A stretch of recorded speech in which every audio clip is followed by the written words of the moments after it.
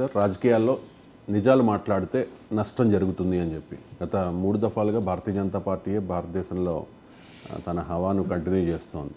కాబట్టి లాభం జరిగినట్టు. అంటే నష్టపోయిన పార్టీలు నిజం చెప్తూ ఉన్నాయా? లాభం పొందిన పార్టీలు నాకు అలా నాకు అలా అర్థమైంది సార్ నేను అలా అర్థమైతే మీరు అర్థం చేసుకున్నట్టు గడ్కరీ మాట్లాడలే కదా. అది రాంగ్ ఆర్గ్యుమెంట్ సంబంధం లేని కంక్లూజన్లు తీస్తే అది అర్థం. లేని ఆర్గ్యుమెంట్ ఆయన అన్న కాంటెక్స్ట్ జనరల్గా పాలిటిక్స్ గురించి మాట్లాడే తప్ప బీజేపీ గురించి ఇండియా కూటమి గురించి మాట్లాడలేదు. అందువల్ల ఫలితాలని సత్యం మాట్లాడడానికి సంబంధం లేదు. అంటే తెలంగాణలో కాంగ్రెస్ అసత్యాలు మాట్లాడి గెలిచింది బీజేపీ సత్యం మాట్లాడింది ఓడిపోయింది బీఆర్ఎస్ ఇంకా ఎక్కువ సత్యం మాట్లాడి ఇంకెక్కువ ఓడిపోయింది అంటావా?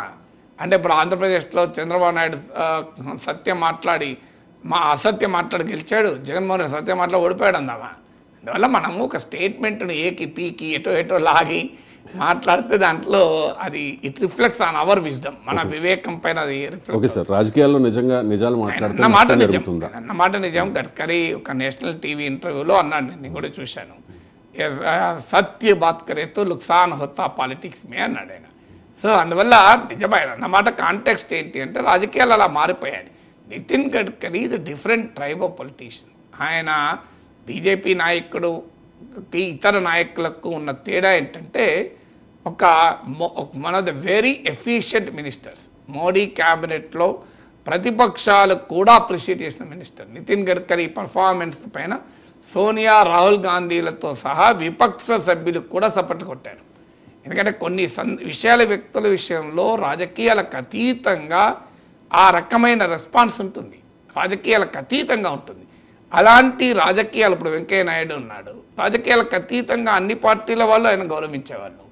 సో ఇటీవల మరణించిన సీతారాం యేచూరి ఉన్నాడు. సీతారాం యేచూరి పార్లమెంట్లో రిటైర్ అయినప్పుడు సమాజ్వాదీ పార్టీ నాయకుడు రామ్ గోపాల్ యాదవ్ కన్నీళ్ళు పెట్టుకున్నాడు.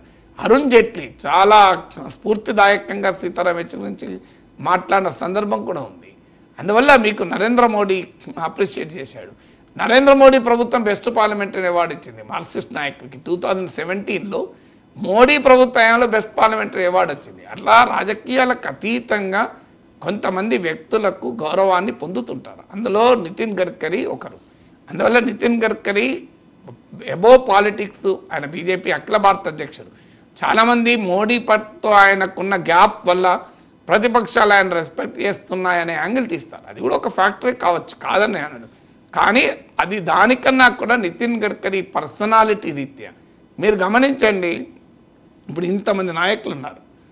ఇష్టం వచ్చినట్టుగా ప్రత్యర్థుల పైన నితిన్ గడ్కరీ కామెంట్ చేసిన ఒక్క ఉదాహరణ చెప్పండి నాకు. ఒక్కటి సింగిల్. తన రాజకీయ ప్రత్యర్థుల పైన బిలో ద బెల్ట్ అంటారు. అసభ్యంగానో వ్యంగ్యంగానో అరాచకంగానో ఏ ప్రతిపక్ష నాయకునైనా దేశద్రోహి అని నితిన్ గడ్కరీ అన్నట్టు ఒక ఉదాహరణ చూపెట్టండి మీరు. అంటే ఎక్కడా అనలేదు మీరు గడ్కరీ. రోజు బీజేపీ నాయకులు ప్రతిప ప్రతిపక్షాలను దేశద్రోహులు అంటుంటారు. కానీ నితిన్ గడ్కరీ అనలేదు మీరు గమనించండి. అందువల్ల Nitin Gadkari is known for the decent political discourse మీరు వెంకయ్యనాయుడు అనలే మీరు వెంకయ్యనాయుడు రాజకీయ ప్రత్యర్థుల్ని కూడా చాలా తీవ్రంగా అభ్యంతరకరంగా విమర్శించిన ఒక ఉదాహరణ నాకు చూపెట్టండి. పొలిటికల్గా మరి వెంకయ్యనాయుడు మామూలుగా స్ట్రాంగ్ కాదు.